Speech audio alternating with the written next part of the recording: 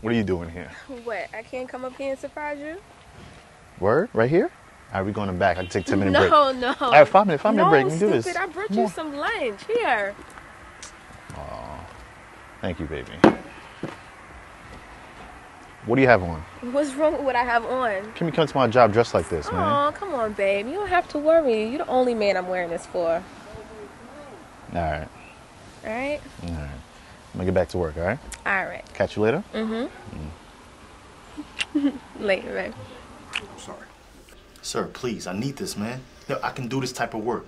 I know the resume doesn't say much, but I've done this type of work before. Well, given your record, Darnell, there's nothing I can do for you. Come on, man, I'm trying here.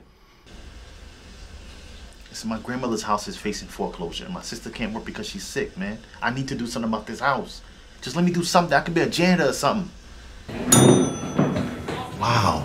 Look so pretty. I don't see why you should be speed dating. I'm not sure why you are either.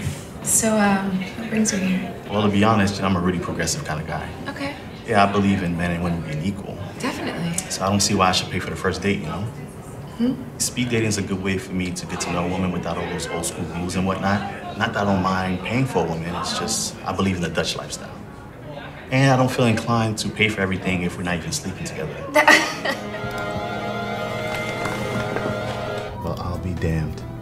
Uh-uh. She's American. Let me handle this. I have strict orders. Sasha mora se kreće prema severu. I thought you wanted to work in the United States. I do. Well, you should be working with us, not against us. Sasha's wanted in England, not States. I should respect the protocol. I'm just saying it pays to do the U.S. a favor, that's all. Favors to the US? I'm already approved to work undercover. I'll leave for New York next Tuesday. You're going undercover with that accent? Good luck.